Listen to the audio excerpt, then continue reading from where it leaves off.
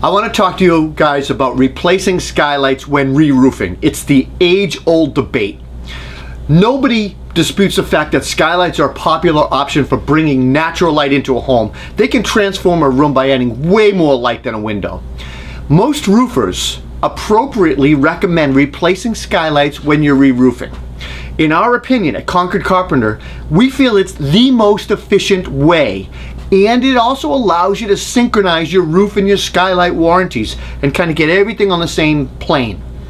A re-roof is an expensive project and in attempt to cut costs, many folks will often opt to save old skylights and pay to have like a, a new flashing kit installed. The problem is glass seal failure. It's a common thing in old skylights and often instances of failure of, of seals or leaks even during a roof tear off and reinstall are, are heard of, are pretty common. Ripping up a new roof and redoing the shingles and the peel and stick and everything else because you have to go back and fix a leak in an old skylight is way costlier and more disruptive. As a remodeler, I try to show my clients that price differential between replacing a skylight when re-roofing. I want to show them that it's a reasonable cost. The price to reflash an old skylight is going to cost you around $500 roughly. The price to replace is somewhere between 800 and 12 or 1500 depending on how many options you add onto the skylight. That differential's not that big considering when you're doing a re-roof, when you're doing the whole roof.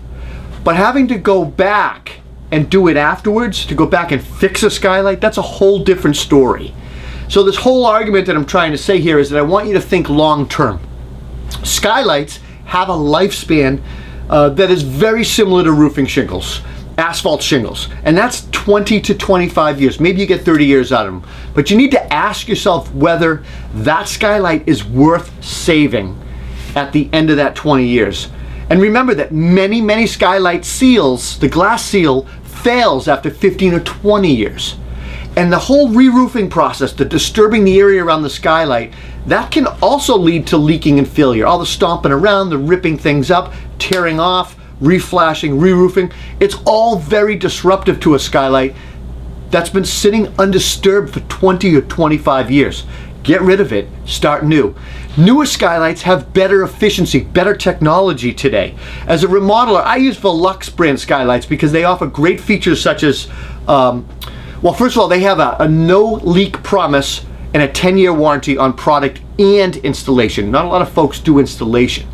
Some of the features that I try to educate my clients on are they have a solar powered uh, rain sensing skylight. Uh, it's programmable. It has a, a, remote control that you can mount on the wall, battery operated. They offer low E3 coated glass, better efficiency for energy efficiency, solar blinds. There's a tax credit, and, and like I said, there's a 10 year warranty.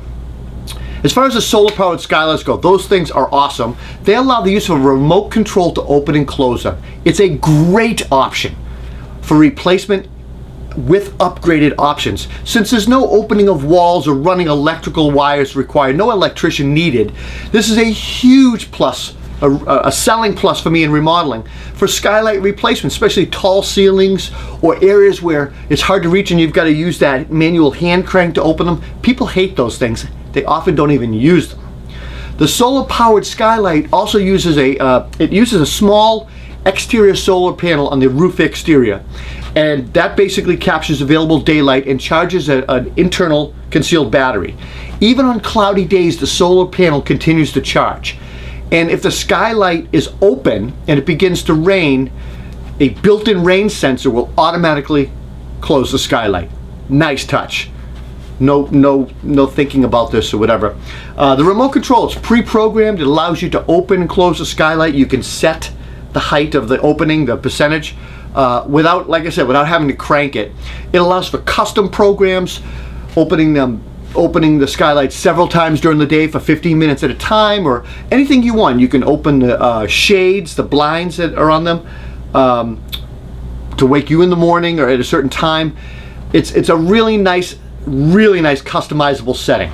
As far as the coated glass, the low E3 glass, it improves energy and uh, performance and it improves it by 35% compared to the skylights of the early 1990s, uh, which had dual pane clear glass. As far as the solar blinds go, they allow you guys or the homeowner to control the light and a little bit of insulation uh, factor uh, day and night. So you can improve the lighting or control the lighting and improve comfort of the room. There's a ton of different styles and designs between colors, light diffusing, and even room darkening. Um, the solar powered skylights are, have a tax credit. It's a 30% federal tax credit on your taxes at the end of the year. And that's gonna come out to about $140 savings off of, of the homeowner. That's really nice. That tax credit eligibility is really nice. However, it expires December 31st, 2016. Hopefully they extend it, we'll see. So the question is, should you do it? Well, ultimately the decision to replace or reflash a skylight is up to the homeowner. Uh, as contractors, we do our best. Some roofers will include a disclaimer in their proposal that they will not be held responsible for future skylight leaks in, in non, non, non-replaced skylights. Look guys, to us here at Concord Carpenter, replacing skylights when re-roofing is a no-brainer, cheap insurance, and a common sense decision. Just do it. I'm Rob Robillard. We'll see you next time, guys. Take care.